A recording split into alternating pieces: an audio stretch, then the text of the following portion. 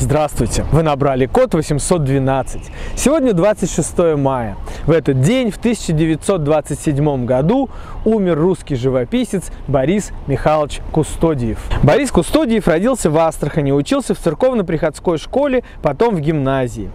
С 15 лет брал уроки рисования.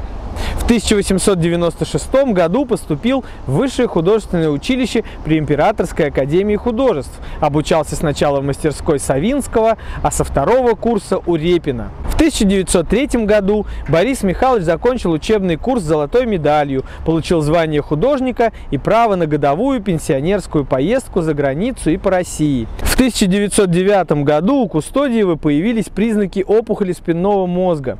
Несколько операций принесли лишь временное облегчение. Последние 15 лет жизни художник был прикован к инвалидному креслу. Из-за болезни он был вынужден писать работы лежа. Именно в этот период жизни появляются его наиболее яркие, темпераментные, жизнерадостные произведения. С 1915 по 1927 год Кустодиев жил вот в этом доме номер 7 по Введенской улице. Thank you